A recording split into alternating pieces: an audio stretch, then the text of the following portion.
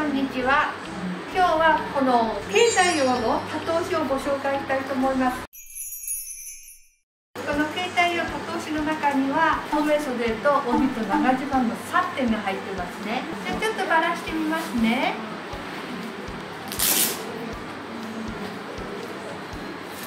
袋帯長襦袢置物ですね。これは留め袖が入ってます。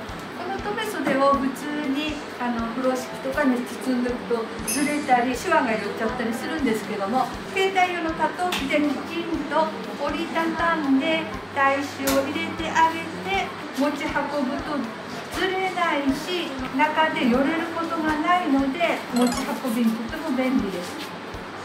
はいこんなにコンパクトになってしまいますね。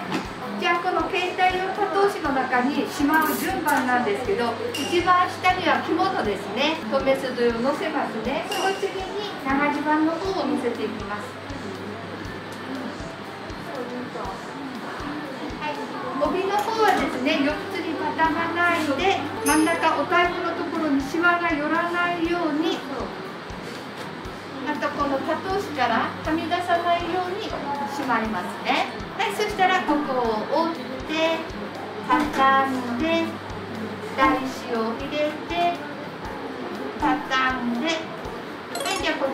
ですね。はい。これでひっくり返してここをマジックテープで留めます。この順番で入れてください。はい。はい。でこちらの方なんですけどもこんな小さなねバッグにねすっぽりさっきの3つのお品物ですね。長襦袢着物。